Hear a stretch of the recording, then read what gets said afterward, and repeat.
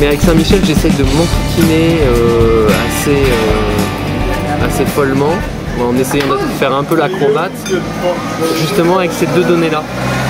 Saint-Michel, c'est un mélange de choses qui sont exécutées en, direct, en réel, qui sont chantées, qui sont jouées, des guitares, des pianos, des batteries, des synthés, enfin tout ce qu'on veut, et toute l'autre partie qui, elles, sont des choses toutes programmées. Et donc qui sont, par rapport à ce que je disais, euh, bêtes et méchantes, c'est un kick qui tombe à chaque fois, c'est une basse synthé qui est programmée. Et en fait, c'est le mélange de ces deux trucs-là. Je passe mon temps euh, à, à, me prendre la tête et à me demander où est-ce que je me situe justement entre la programmation, quelque chose de figé et de froid et de paf qui est exécuté de manière imparable, et un truc plus vivant.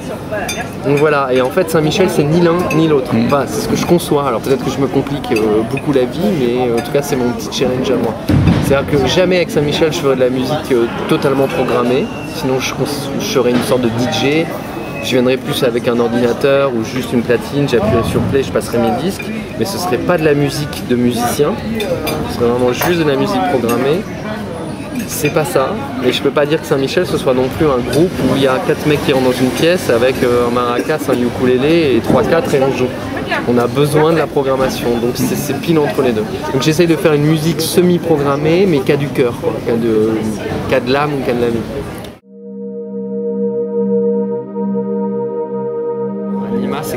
La, représentation de ce, cri, euh, ce cri ancestral.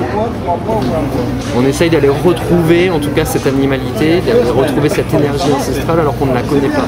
Mais on sait qu'on l'a euh, quelque part en nous, on sait que c'est inscrit quelque part en nous. Donc euh, moi c'est ce qui me fait marrer, ce que je encore, ça rejoint ce qu'on disait tout à l'heure, c'est ce, truc de, diagonale dont je te parlais. Mm. J'adore Anima et je pense que c'est un projet qui va aller vraiment très très loin, parce que je pense qu'il y a un truc vraiment très très intéressant dans le concept même, le fait d'être deux petits mecs de la ville, deux petits occidentaux. Euh, je veux dire, avec Manu, on n'est pas allé, on n'est pas parti pendant six mois ou pendant deux ans vivre avec euh, des tribus, vivre avec des gens du coins de la terre. On n'est pas ethnologue. On a, un amour évident de toutes ces racines, toutes ces racines humaines et terrestres mais c'est pas notre métier. Et pourtant, on a à cœur plus que tout dans cette discipline artistique de euh, mettre en avant ce truc-là, ce message-là, ce, truc du cri, des, du cri des nations, du cri des tribus. Et donc euh, la diagonale, elle est là pour moi, c'est qu'on est les petits mecs de la ville qui n'ont aucune notion de tout ça, et pourtant on se jette dedans.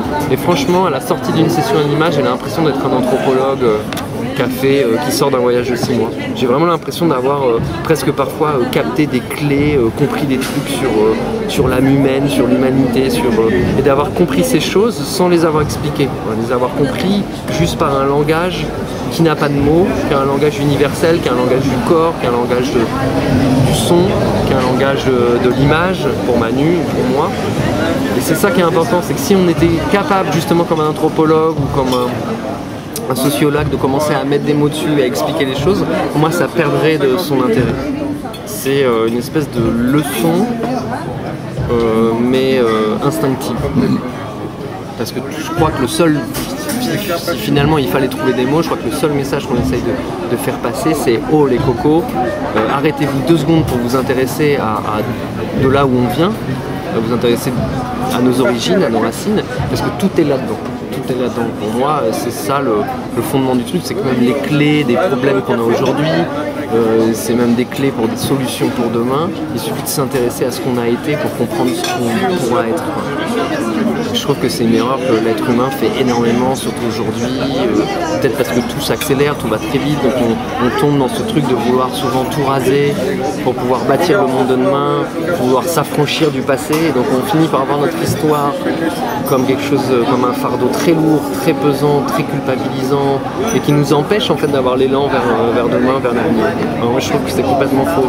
J'ai l'impression que j'observe de, de ma toute petite expérience de vie, n'ayant pas bien vieux et n'ayant pas non plus vécu grand chose, n'étant pas un grand philosophe, mais que euh, justement euh, le danger c'est quand on commence à ne plus écouter ce qu'on a été, à ne plus s'intéresser à notre histoire, à nos racines, à là où on vient, à qui on est. Et là on, peut tomber justement dans une forme de folie un peu amnésique où on, va d'abord s'attacher à couper tous ces liens en se disant on se libère, on se libère, on se libère, donc on coupe tout, on sort l'arrache, on, on sape l'édifice, et après on se retrouve un peu à poil au milieu du désert, et on comprend plus trop qui on est. On comprend plus ni ce qu'on est, ni où on va, ni d'où on vient. On perd un peu nos repères, et j'ai l'impression que ça participe beaucoup à ça parfois, de plus vouloir être connecté avec le passé. Et pour moi, en plus, euh, c'est magique, quoi. toutes les réponses sont dedans. Euh, euh, même les réponses par rapport à, l'ère moderne, le fait de vivre de manière moderne ou pas, parce que moi c'est une question qui me taraude énormément depuis des années.